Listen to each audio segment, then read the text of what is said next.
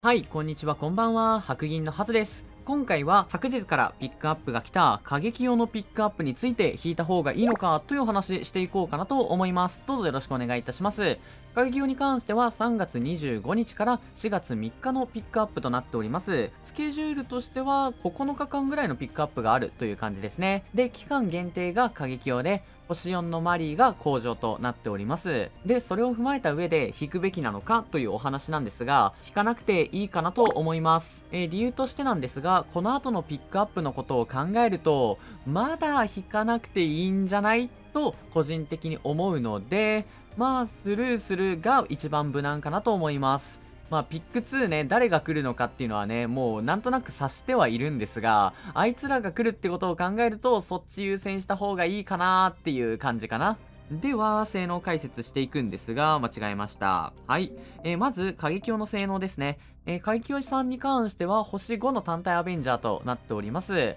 えー、まず第1スキル。自身に現時特攻状態を付与し、クリティカル威力を3ターンアップ。NP を30%増やし、自身を除く味方全体のスター集中度を3ターンダウン。第2スキル。自身にガッツ状態1回の3ターンを付与し、他のガッツと重複可能を付与。特殊耐性を3ターンアップし、ガッツ発動時に自身に復讐の怨念状態10ターンを付与する状態を3ターン付与。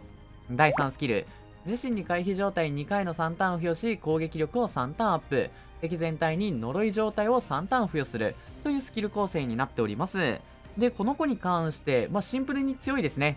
まあ、第1スキルの源氏特攻がちょっと使いにくいっていう感じなんですが、それ以外は割とまとまっているスキルです。えまず、第1スキルの源氏特攻。これに関してはその名の通り源氏特攻を付与してくれます。ただ、源氏ってなかなかいないんですよ。まあ、刺さる場面はもちろんあるんですが、めっちゃ刺さるかって言われると、あんまり刺さんない特攻となっているんで、ご注意ください。で、そこからクリティカル威力アップ。まあ、シンプルにクリ軸の火力上げてくれるよっていうのと、それに合わせて、自身を除く味方全体のスター集中度ダウンしてくれるんで、クリティカル運用がしやすいっていうのはいいかなと思います。で、NP30% に関しては NP30% プラスアペンドの20%プラス NP50% レーソーで宝具が打てるという感じになるのでいいかなっていう感じです。で、次、第2スキル。え自身にガッツ状態1回の3ターン付与。これに関してはその名の通りガッツ発動してくれます。で、他のガッツと重複可能ということで、重ねがけガッツができるっていうのは悪くないかなと思います。で、即死耐性アップに関しては、まあ即死攻撃無効にするので、まあ高難易度とかで使えるかな。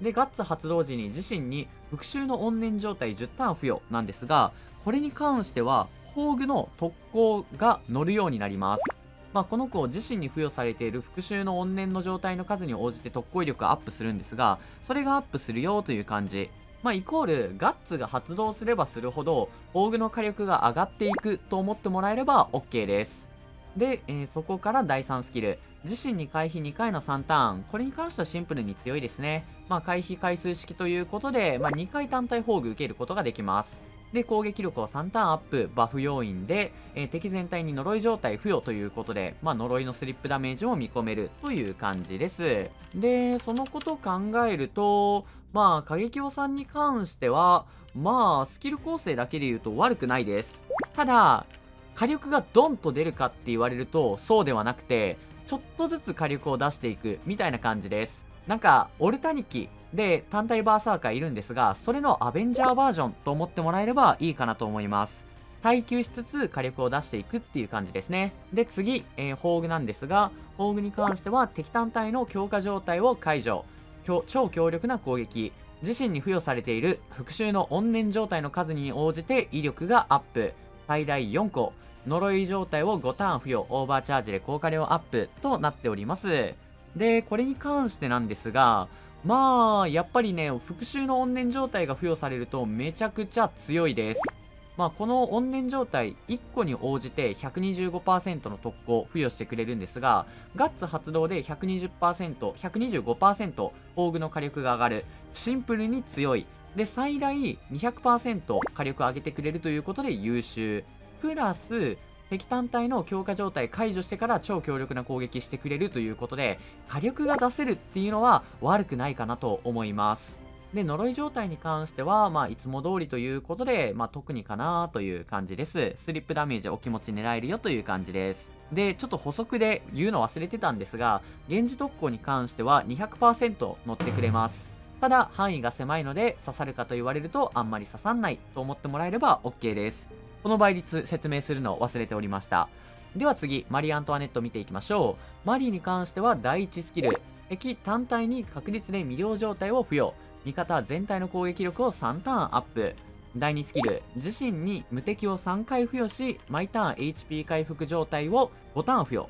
第3スキル、自身の精神異常付与成功率をアップし、HP を大回復するというスキル構成になっております。で、この子に関してなんですが、正直スキル構成はそんなに強くはありません。えまず第1スキルの敵単体に確率で魅了状態付与。これに関しては倍率は80%ということで高くはないんですが、第3スキルの精神異常成功付与率上げていると、確定でバフが入るようになる、魅了が入るようになるんでいいかなと思います。まあ、基本第3と第1はセットって感じかな。で、そこから味方全体の攻撃力上げてくれるということで、火力が出せると思ってもらえれば OK です。で、第2スキルの無敵状態3回付与。これね、めっちゃ強いです。3回無敵ということで、攻撃を食らわなければ永遠と無敵を残すことができます。で、このスキルに関して6ターンに1回打つことができるということで、6ターンの間、うまいこと耐久してあげると、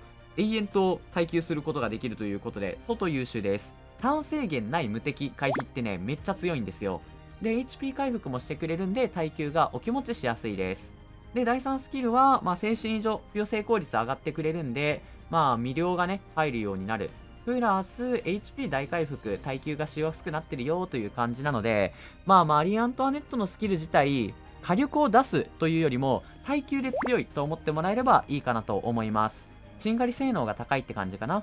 で、対アベンジャーの攻撃適性を持ってます。なんででしょうね。で、次。えっ、ー、と、宝具ですね。宝具に関しては敵全体に強力な攻撃、味方全体の HP を回復、オーバーチャージで効果量アップ、弱体を解除、クリティカル威力を3ターンアップするという宝具になっているんですが、宝具強化されているということで火力が出しやすいです。プラス、味方全体の HP を回復してくれるんで、サポーターの HP も回復することができる。これ便利。からの弱体を解除。サポーターがもし仮に攻撃力ダウンとかアーツ性のダウンとか入っていたとしても、この宝具を使うことによって解除することが可能となってます。で、味方全体のクリ力上げてくれるので、宝具を打ってスターを獲得からのクリティカル運用ができるっていうのは悪くないかなと思います。というので、マリー・アントワネットに関しては、まあこんな感じかな。宝具強化されてある程度火力が出るんだけど、スキル構成は耐久寄りということで、周回で使うというよりも、高難易度運用が強いキャラクターと思ってもらえればいいかなと思います。ということで、早速、過激を運用していこうかなと思います。やっていきましょ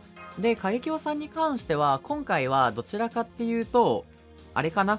あの宝具の火力、特攻が入った時の火力を見てもらいたいなと思うので、黒聖杯運用やっていきます。ではやっていくんですが、鍵尾さん、まず第2スキルを発動させましょう。で、えー、これでガッツ発動時に、えー、バフがつくようになりました。で、回避打っといて、えー、もうここは素直に鎮急で宝具を打ちます、え今回ね無理やりガッツを発動させようということで鎮急採用しているんですが、まあ、基本は、え基本これ基本はなんかこういう運用方法はしないでくださいあの割とね自己要素とかになったりするんでご注意くださいで、えっ、ー、とね、挑んでる場所ね、スケルトンの場所なんですが、源氏特攻が正直刺さる場面ほぼほぼないということで、今回はこの火力だけを見てもらおうかなと思います。では、バフっていくんですが、えここに関してはもうスカリーでバフっていけばいいということで、ちゃちゃーっとバフっていきます。で、スカリーでバフってバフってバフって、NP チャージもしてあげて、いろいろやってあげて、はい、ぶん殴っていきましょう。で、同時に Q チェインもして星出しもやってあげたらいいかな。えっ、ー、と、宝具の火力に関して、1回の、えー、10円、えー、怨念特攻が入っていると、これぐらいの火力が出てくれます。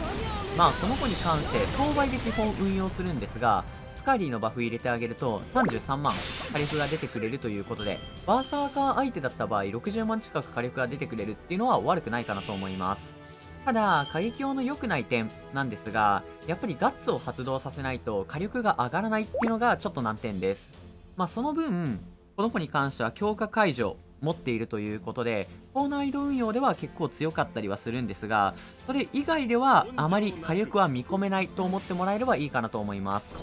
まあただ強化解除しながらねこの子なんか自バフだけである程度お気持ちね他のキャラクターと比べると火力出してくれるっていう性能になっているのでまあ使い勝手としては悪くないかなって感じかな。まあ火力を出すためにはちょっと初速が遅くなってしまうっていうのが過激用の良くない点なのかなと正直思います。まあただ現時特攻とか、まあ、強化解除宝具でガッツ発動した瞬間に実質誰でも特攻になるってことを考えると普通に強いなーって思うしここスキル見てもらったらわかるんですけど4ターンに1回なんですよ。これアトラスインとかでうまいこと重複してあげたらえガッツ2回発動してるよ？よし！みたいな運用方法もできたりするのでどちらかっていうと周回よりもやっぱり高難易度面で強いキャラクターと思ってもらえればいいんじゃないかなと思います。以上ということで今回ここで終わりにしたいなと思います。最後まで見てくださった皆さんご視聴ありがとうございました。参考になったよって方はぜひチャンネル登録高評価よろしくお願いいたします。それじゃあバイバイ。